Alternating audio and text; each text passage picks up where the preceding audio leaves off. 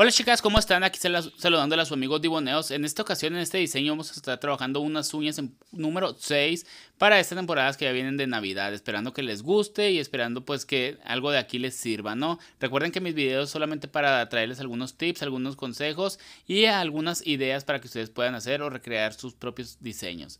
Aquí estamos haciendo la uña totalmente blanca con un eh, acrílico blanco lechoso que es para la técnica Milk, que es la que vamos a estar trabajando lo que es en este video.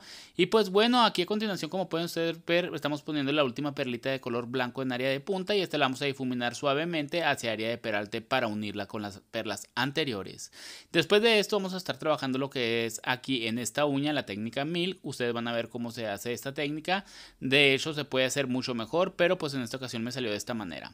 Con un acrílico rojo con glitter, como pueden ustedes observar aquí, esto es de lo que se trata lo que es esta, esta técnica.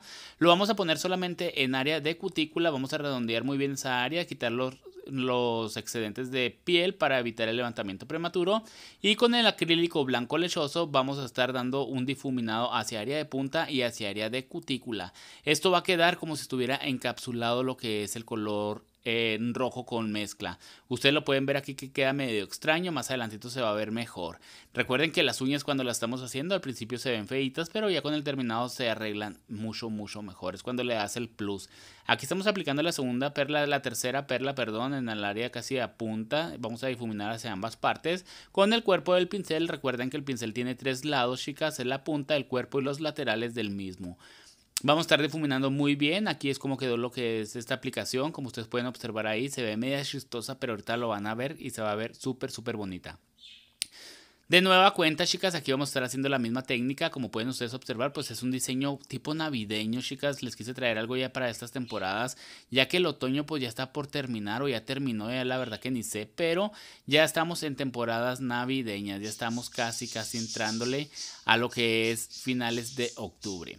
Vamos a estar haciendo la aplicación del acrílico blanco lechoso como en la aplicación anterior y vamos a difuminar muy muy muy bien. Recuerden chicas que si estos videos les gustan, algo les sirve, les, les, les llama la atención o algo por el estilo, pues las invito a que le den un like al video, que se suscriban al canal se suscriban y si no están suscritos, pues aquí son bienvenidos. Le cliqué en la campanita de notificaciones para evitar perderse alguno de mis videos junto con los shorts. Y pues bueno, les doy también muchísimas gracias por tanto apoyo y por haberle dado clip a este video y estar aquí acompañándome como realizándolo cómo lo estamos realizando, perdón. Ahí me estoy trabando un poquito, pero recuerden que pues se me traba la lengua.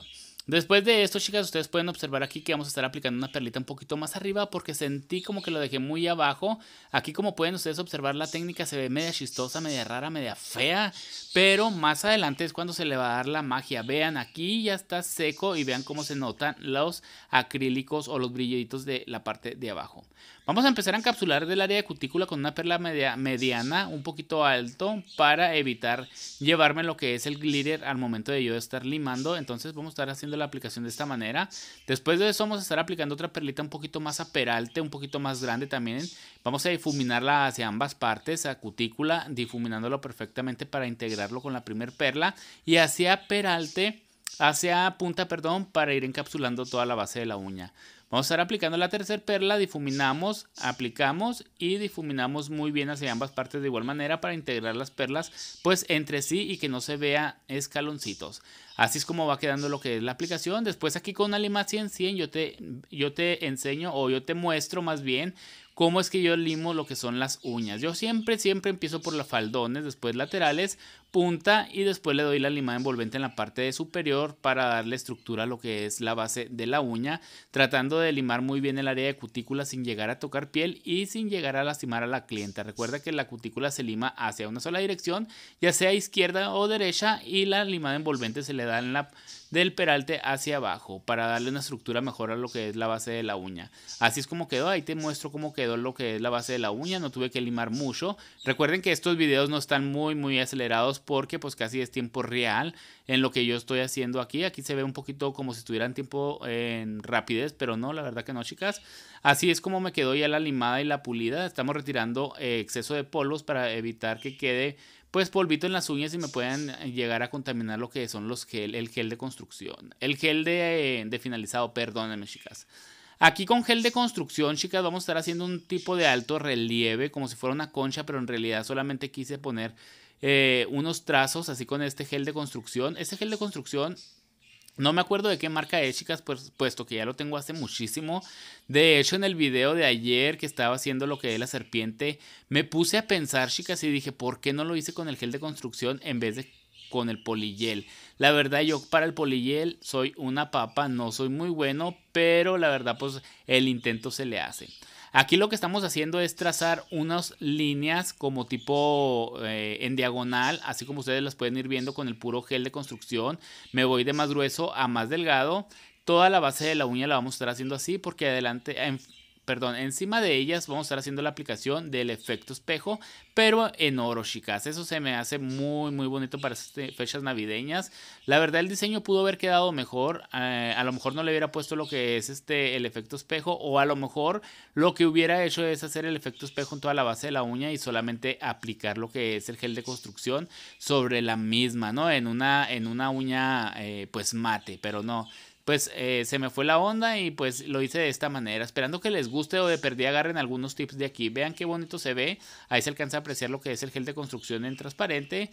Y aquí ya vamos a estar haciendo la, famo la famosa aplicación del efecto espejo en oro, chicas. Esto solamente en la base del gel donde pusimos lo que son los trazos. Recuerden que esa base pues antes de aplicar el efecto espejo tú metes a curar por un minuto y con la base pegajosita el, el efecto se va a adherir súper súper bien Aquí el, diseño pues quedó más o menos bonito. No me gustó así tanto, chicas. Ustedes saben que yo soy bien franco, bien sincero. Si mi trabajo no me gusta lo suficiente, yo siempre lo he dicho. Ya ahí está lo de la víbora, la anaconda esa. Entonces, pues así es como quedó lo que es la base de la uña. Solamente le quise dar, pues como un tipo de, de, Navidad o algo así, ¿no? Unos trazos, no, nada más eh, tranquilos, ahí no, no pulirme tanto, pero la verdad, pues el diseño se ve bonito. No puse tanta cristalería en esta ocasión, puse alguno que otro cristal en la uña del dedo medio y en la uña, no, sí, en la uña del dedo medio creo y en el, en el, ¿cómo se dice? En el índice. También en el en meñique también. A ver, ahorita ustedes van a ver qué tanta cristalería le puse. Aquí estamos aplicando el top gel, meto a curar la lámpara por 60 segundos y ahí quedó lista. Aquí vamos a estar haciendo la aplicación de los cristales que les decía. En esta ocasión vamos a estar aplicando esta gotita invertida. Y vamos a estar aplicando algunos más en diagonal para darle pues detalle a lo que es el diseño, ¿no? Recuerden que a mí los diseños sin cristales casi no me gustan. De hecho, el, diseño que les subí el, día de ayer no me gustó mucho, chicas, y yo se los dije. Estuve haciendo unas...